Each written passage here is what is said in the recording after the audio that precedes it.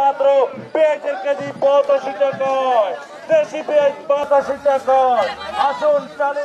কুমিল্লায় মাইকিং করে পঁচাশি টাকা কেজিতে বিক্রি হচ্ছে পেঁয়াজ। কুমিল্লায় পঁচাশি টাকা কেজি দরে মাইকিং করে পেঁয়াজ বিক্রি করা হচ্ছে।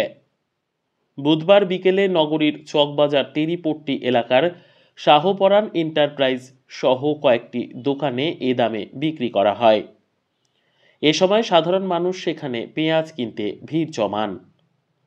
জানা যায়, গত দুদিন ধরে নগরী সহ জেলার বিভিন্ন স্থানে পেঁয়াজ একশো আশি টাকা থেকে দুশো কুড়ি টাকা পর্যন্ত বিক্রি করা হয়েছিল।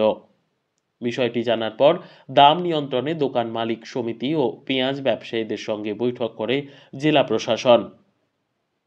এরপর বাজার তদারকিতে মাঠে নামে নির্বাহী ম্যাজিস্ট্রেট ও জাতীয় ভোক্তা অধিকার সংরক্ষণ অধিদপ্তর। প্রশাসনের কঠোর হস্তক্ষেপ এবং সুবিধাবাদী ব্যবসায়ীদের সিন্ডিকেট ভাঙতে দোকান মালিক সমিতির উদ্যোগে দাম কমে আসে। এরই ধারাবাহিকতায় বুধবার বিকেলে নগরীর চকবাজার তেরিপট্টি এলাকার শাহপরান এন্টারপ্রাইজ সহ কয়েকটি আড়তে এক কেজি পেঁয়াজ পঁচাশি টাকা দরে বিক্রি করা হয়।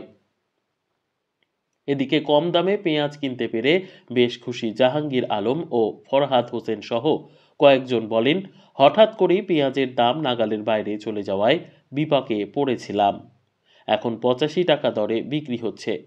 পাঁচ কেজি কিনেছি। ব্যবসায়ীরা জানান, এই পেঁয়াজটা মূলত আমাদের দেশে উৎপাদিত। তাই পঁচাশি টাকা দরে বিক্রি সম্ভব হয়েছে।